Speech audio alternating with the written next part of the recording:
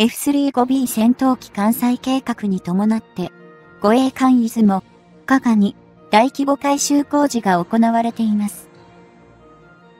そんな中、護衛艦ヒューが伊勢に注目が集まっているという情報が入ってきました。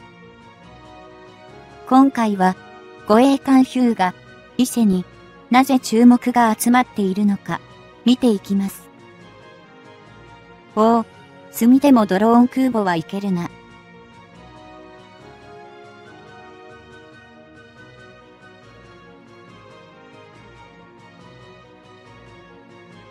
2023年時点で海上自衛隊で最大規模を誇る艦艇といえば、伊豆、元加賀の2隻を含む伊豆も、型ヘリコプター搭載護衛艦ですね。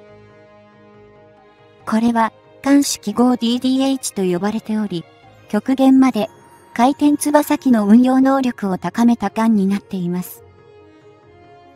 出雲、型護衛艦は、基準排水量19,500トン、満載排水量26,000トン、全長248.0メートル、全幅38.0メートル、深さ23.5メートル、喫水で7.3メートルのサイズで、名実ともに海上自衛隊艦艇で最大規模です。この大きさを誇る出雲、片護衛艦の機関部ですが、アメリカのジェネラルエレクトリック社製の LM2500IEC が、スタータービンが4機組み合わされた小ガグ方式が採用されていて、マックス出力11万2000馬力、速度30ノット以上を発揮するそうです。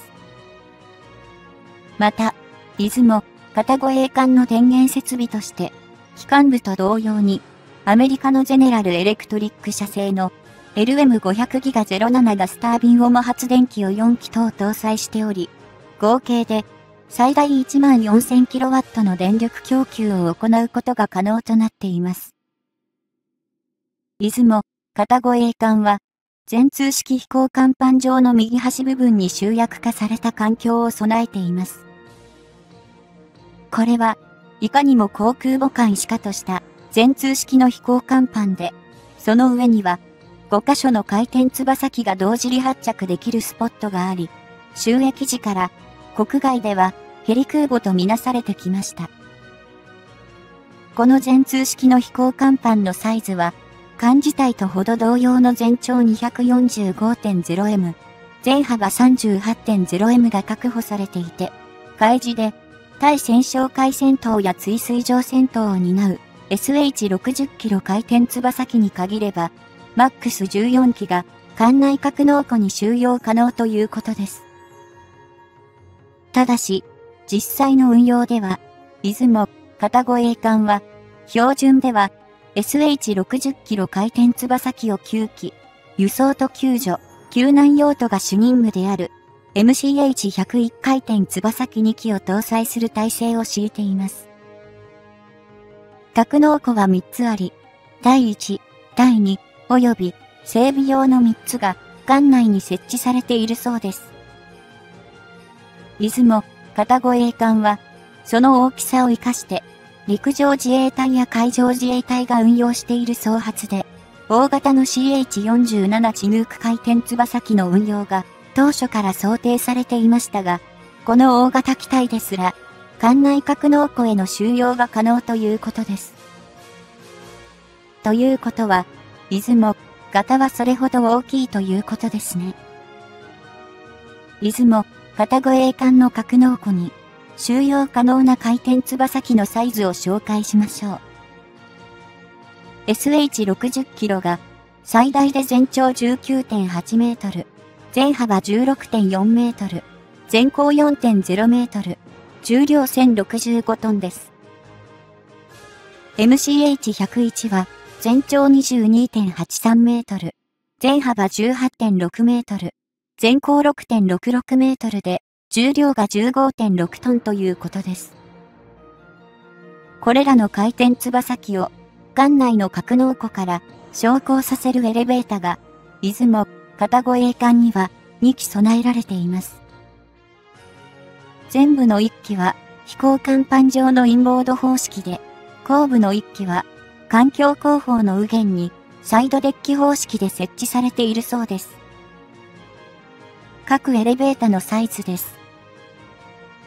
飛行甲板上のインボード方式エレベータは、長さ20.0メートル、幅13.0メートルです。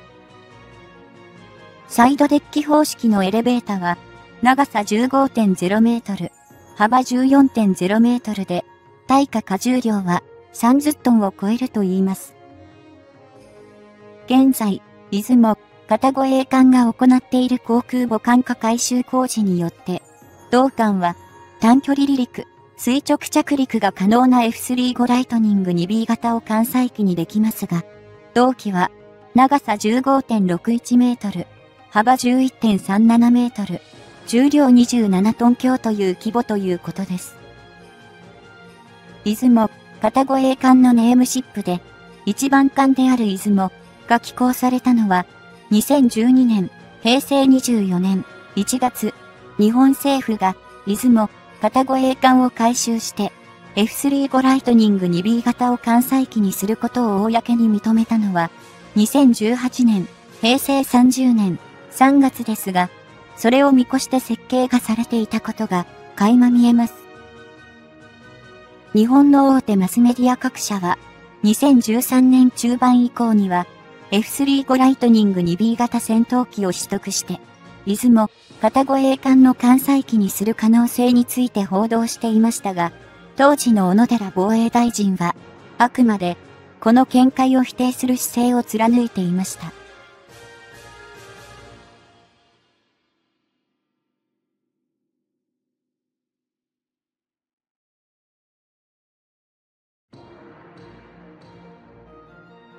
当時は政治的に日本の海上自衛隊が装備として航空母艦を運用することについて専守防衛を掲げる動体の理念を逸脱するのではないかという批判をマスディアから受けることを危惧していたせいだと思われますが、現在からすれば、覚醒の感が拭えませんね。しかし、日本がこうした政治状況にあった時期にも、中国海軍は国家の経済力を背景に、軍の装備の近代化と増強をどんどん進めていました。こうした事態への危機感が日本国内でも醸成された、醸成したことから、この航空母艦化計画は市民権を得たということになったのです。日本では2010年後半に差し掛かると、出雲、片越栄艦への航空母艦化改修を公にし、2017年には、同艦の建造を担当したジャパンマリンユナイテッド社が、航空機の運用能力の向上を企図した研究を委託業務として受注したことで、その事業に着手しました。この中ではいずも型護衛艦に無人航空機と合わせて F35 ライトニング 2B 型の運用を企図する研修が行われたそうです。これを受けて2018末に閣議決定した防衛計画大綱や、その具体策を記載した中期防衛力整備計画では、ストブル機運用について言及されました。そこで、従来の日本政府の国会答弁では、自衛隊が保有しないと定義してきた装備3点、つまり、大陸間弾道弾や戦略爆撃機、そして航空母艦については変更しないとしながらも、出雲、片越栄艦の改修は、攻撃型航空母艦には該当しないという見解が示されたのです。航空母艦を攻撃が高い中と区別するこういった定義が、軍事的に意味があるかどうか、実に日本的な政治上の言い回しと解釈をひねくり回したものという感は、否めません。しかし、どちらにしても、出雲、片越栄艦の航空母艦化改修が、本決まりになったことは間違いない事実です。それでも、日本政府は仮に、出雲、片越栄艦の航空母艦化改修が完了を終えても、F35 ライトニング 2B 型を常時艦載機とする運用は行わないと明言しています。従来通りの回転翼機による対戦勝会任務との併用が前提であると付け加えています。出雲、片護衛艦の航空母艦改修の予定ですが、まず、2020年度防衛予算から改修費用をひねり出して着手。全通式飛行甲板に F35 ライトニング 2B 型戦闘機が排出する高温の排気熱への耐熱加工を施すことが打ち出されました。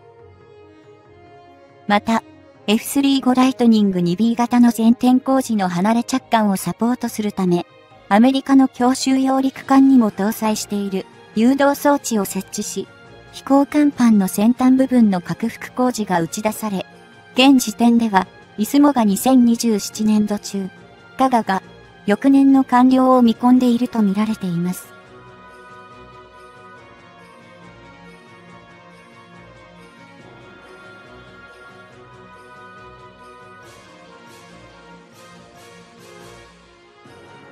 これと並行して、関西機となる F35 ライトニング 2B 型は、2023年時点で、総数42機を購入することが計画されていますが、中期戦としては、航空自衛隊の宮崎県の新田原、ニュータバル基地が有力視されています。早ければ、2024年度から、同基地においての運用が見込まれているようです。このように、太平洋戦争後の日本では初めてとなる出雲、片護衛艦を航空母艦に改修しての運用計画が進められているのですが、この先駆けとなったと見られているのが、ヒューガ片護衛艦のヒューガ、伊勢の2隻です。ちなみに、護衛艦の名前には、旧国名が付けられるようですね。出雲、島根、加賀、石川ですし、ヒューガ、宮崎、伊勢、三重というわけです。ヒューガ、片護衛艦のサイズを紹介します。基準排水量13,950トン、満載排水量19,000トン、全長197.0メートル、全幅33.0メートル、深さが22.0メートル、喫水が7.0メートルの規模です。排水量比では出雲、片護衛艦の約70%強のサイズ感ということになります。このヒューが、片護衛艦も出雲、片護衛艦と同様に、全通式の飛行甲板を備えていて、フォルムから見れば航空母艦しかとした外観ですが、回転翼機の昇降用のエレベーター2機は、いずれも飛行甲板上でのインボード式が採用されているのです。このヒューが、片護衛艦のエレベータは、前方の1機が幅10.0メートル、後方の1機が同13.0メートルと小型なので、F35 ライトニング 2B 型を昇降させるには厳しく、しかも、どちらも飛行甲板上にあるので、F35 の離陸距離の確保も困難なのです。そのため、出雲、型のようにヒューが、片護衛艦に航空母艦化改修を行うのは、物理的に制約があって考えにくいでしょう。どちらかといえば、1998年、平成10年から収益が始まった大隅型輸送艦3隻の代替艦に、その機能を盛り込む可能性が高いのではないでしょうか。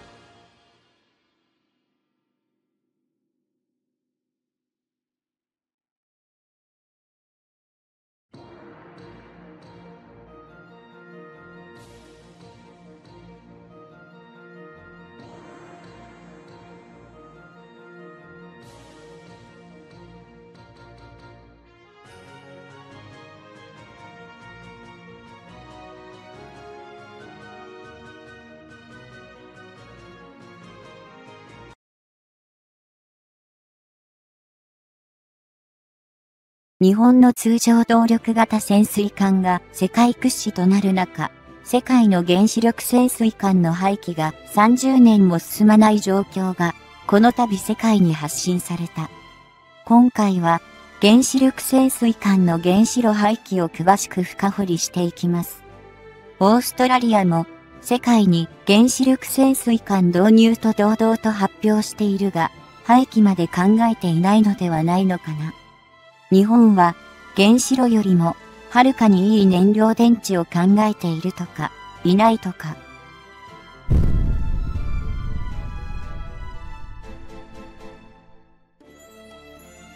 2023年現在、日本の海上自衛隊の艦艇では、動力源に原子力推進を使用するものはなく、すべてが通常動力推進艦で構成されているが、世界の海軍に目を移せば、多数の国が保有と運用と、そして一部で退役後の保管も行われている。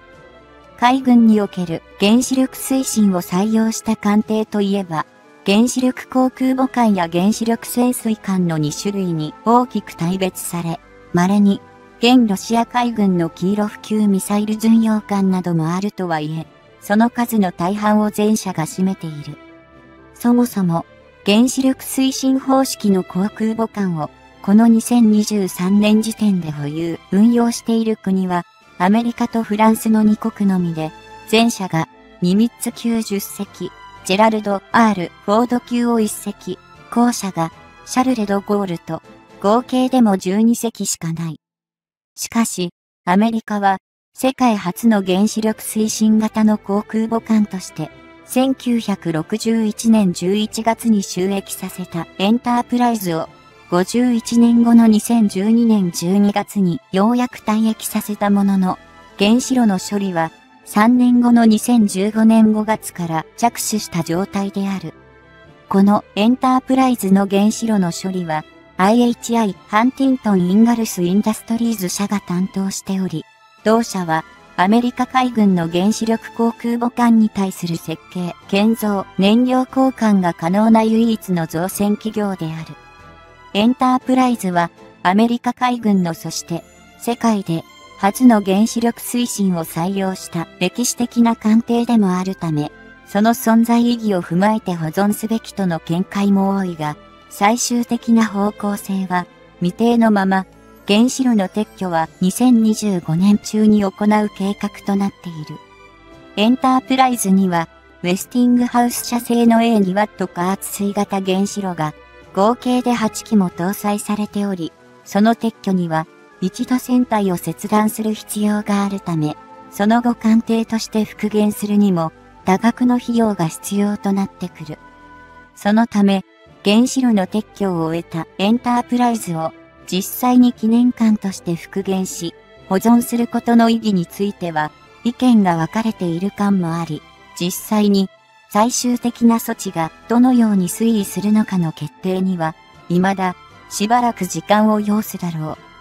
ちなみに、エンタープライズという艦名は、アメリカ海軍においては、この原子力航空母艦で2隻目だったが、ジェラルド・ R・ フォード級の3番艦として、2022年4月に寄港されたものに、すでに継承が決まっており、2028年には収益する見込みである。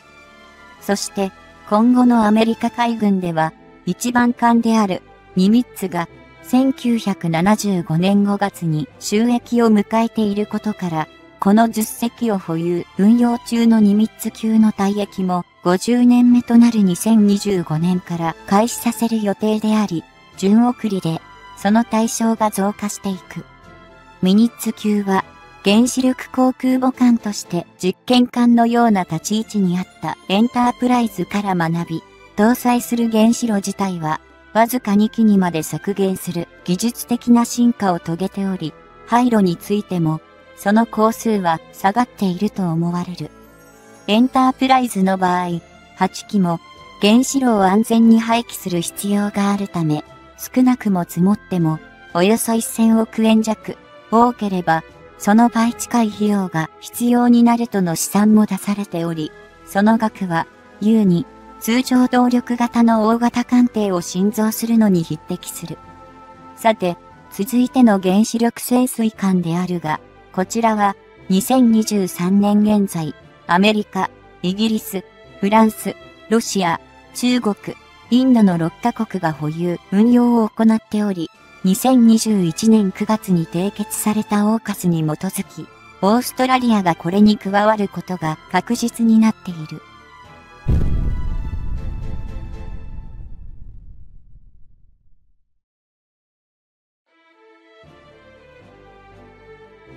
こうした中で、西側諸国の中では、アメリカとフランスが、退役後の原子力潜水艦から原子炉を撤去し、艦艇自体を解体する処分を行った実績があるが、残るイギリスはといえば、これを実施し始めたのは最近である。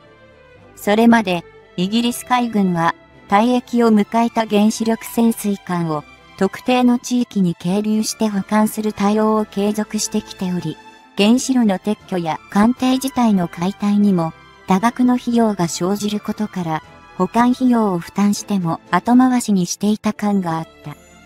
前述したオーストラリア、アメリカ、イギリスの3カ国が締結した新たな軍事同盟たるオーカスにおいては、オーストラリアは、まず、アメリカ製のバージニア級攻撃型原子力潜水艦を、少なくとも5隻は調達するとめされている。その後、イギリスとの共同開発によって、軍事同盟の名をそのまま冠したオーカス級を自国内で建造する方向で進めようとしていると思われるのだが、やはり、その退役後の処分には、イギリス流のやり方が有力視されている。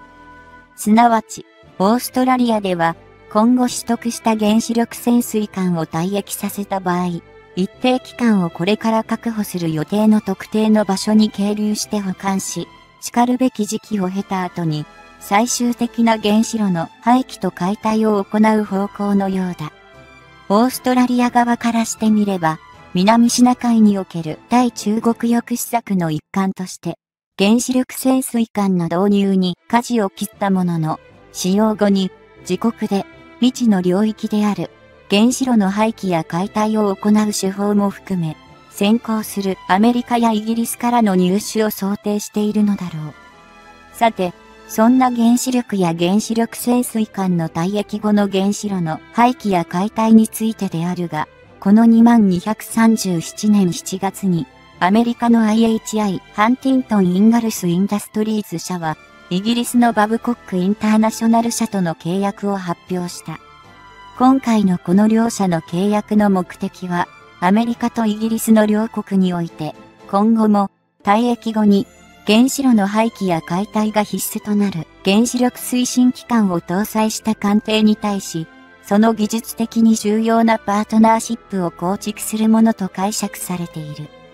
前述したように、アメリカ海軍は2025年以降にミニッツ級航空母艦を順送りで10隻もの原子炉の廃棄や解体を実施することとなるため、これらへの対応を見越して、その能力を高め、かつ、同盟国や友好国にもその技術を戦略的に供与する意図がある模様だ。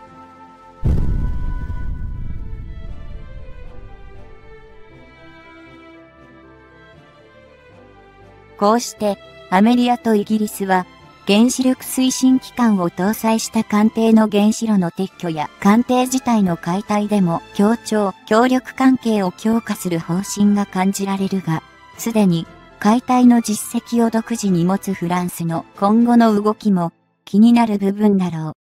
フランスとしては、急遽のオーカスの締結によって、本来、自国がオーストラリアと進めていたシュフラン級原子力潜水艦を通常動力型に改めた潜水艦の建造計画を宝具にされた経緯もあり、こうした分野でも独自路線を貫くのではないだろうか。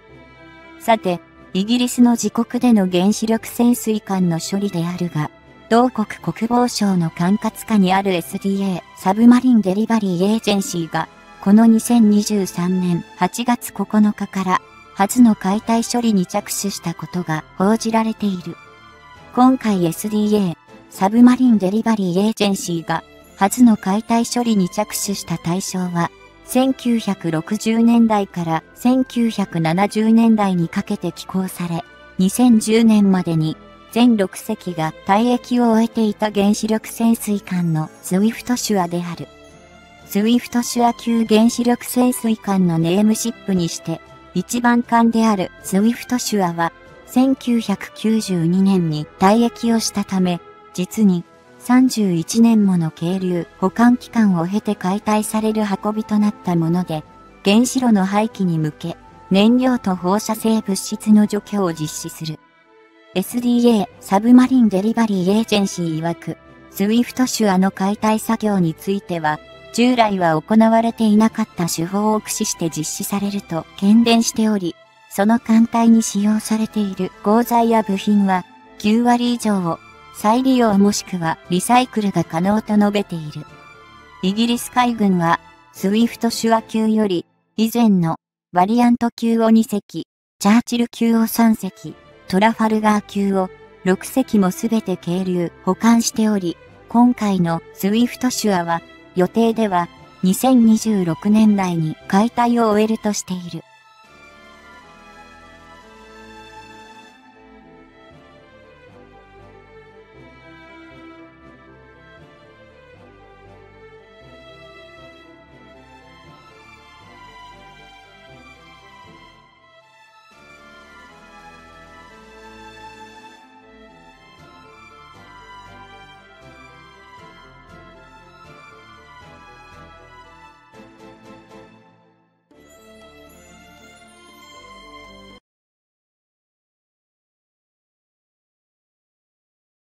レールガンは日本政府が開発を急いでいる武器の一つですが、一体どんな兵器なのでしょう？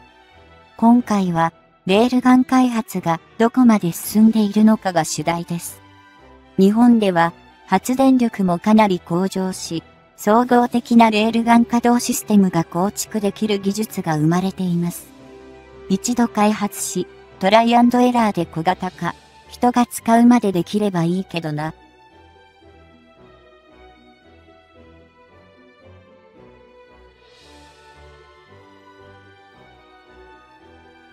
2022年になってからというもの、北朝鮮は超音速弾道ミサイルとみられる物体の発射を繰り返しています。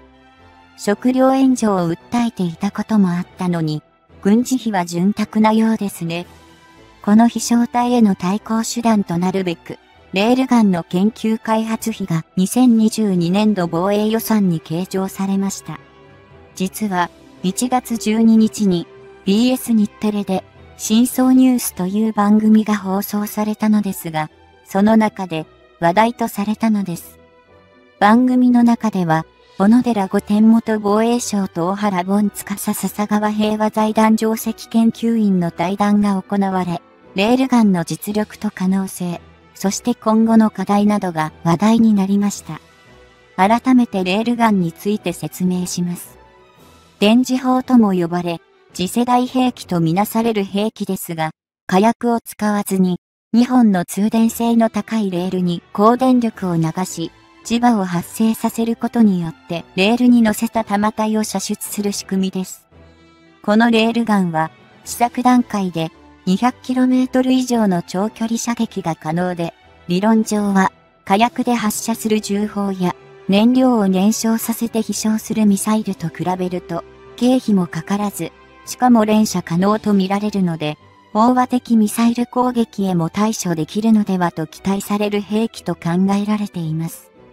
花火がわかりやすい例ですが、雨が降ったら火薬は使えませんから、火薬を使わずに発射できるというのは確かに効率的でしょうね。防衛省がこれまでに試作したレールガンでの発射試験結果によると、発射初速は2300メートル毎秒およそマッハ6が観測されたということです。戦車砲の発射初速は、1、700から1、800メートル毎秒と言われますが、それを軽く上回っています。防衛省の構想では、中国、ロシア、北朝鮮が急ピッチで開発を進めている超音速誘導弾への対抗手段になり得ると期待しているようです。前での真相ニュースの番組中では、キャスターから様々な質問がありました。レールガンを開発するメリットは何か？小原定石研究員は、弾体を非常に高スピードで遠くのターゲットに命中できると考えている。ミサイルなどに弾体が到達するまでの時間も短く、連射も可能ということだと答えた上で、アメリカ軍の地上試験では射程 370km という報告があったこと、連射性能向上の可能性についても述べました。また、弾体に火薬を入れて爆発させなくても、高スピードによる破壊力が期待できるという発言もありました。強力な磁場を発生させるための装置は必要か？という質問に対しては、先行国アメリカが10年間開発を続けてうまくいかなかった理由として、高電力を出せる電源装置開発が難しかった。特に水上艦艇に艦載できるコンパクトな電源装置開発が難しかったためではないかと指摘しました。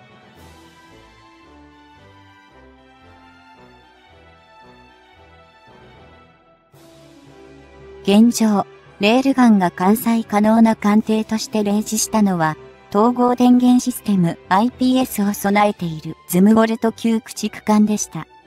IPS は大きな電力を必要な箇所に集中的に配電できるシステムで、レールガンの発射が可能と思われます。高電力が必要なため、他の電子装置が使用不可能になってしまうので、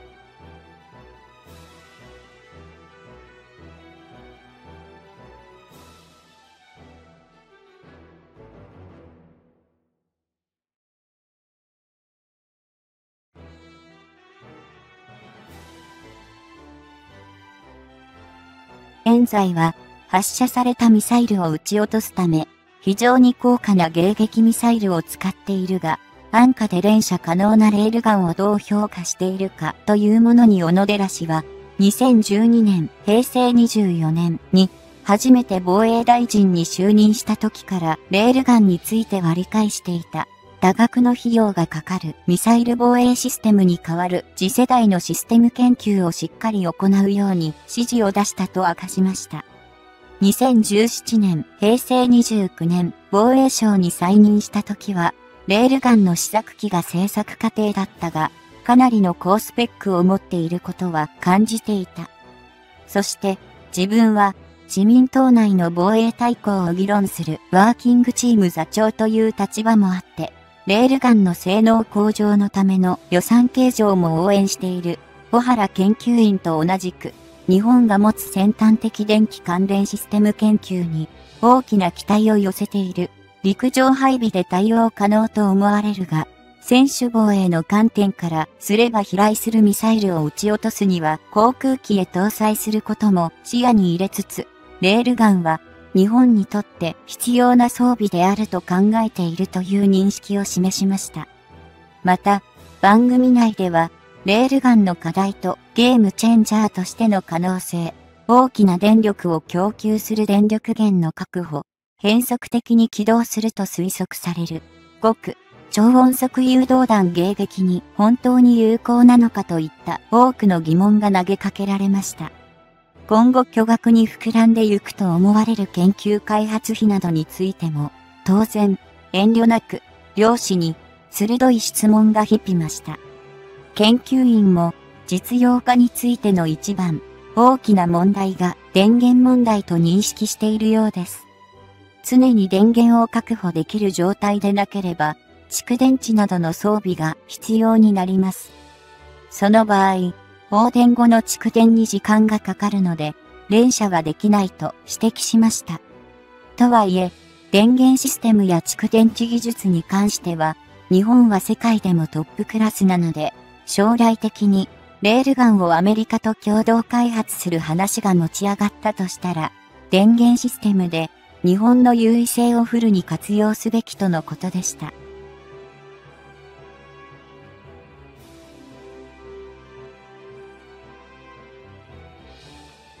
心配される。極超音速ミサイルの変速軌道への対応では、小野寺氏は、レールガン一つだけで防衛システムを構築するのではなく、イージスシステムなど現在あるシステムと複合的に防衛にあたる、レールガンを含めて飛来するターゲットに照準を合わせて的中させるという発想ではなく、近距離で炸裂させ、ターゲットに被害を与えるなどの様々な可能性を研究すべきだろう。それはまだ始まったばかりと話しました。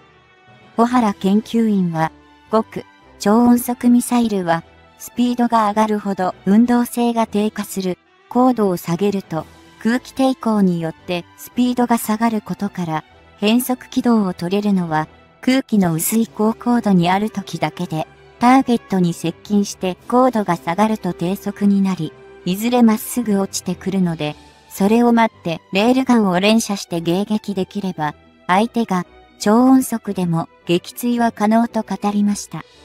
レールガン開発はかなり前から始まったようです。60年前の1960年代から構想はあったそうですが、本格的に指導したのはここ10年ほどなので、その実現性を疑問視する意見もあるようです。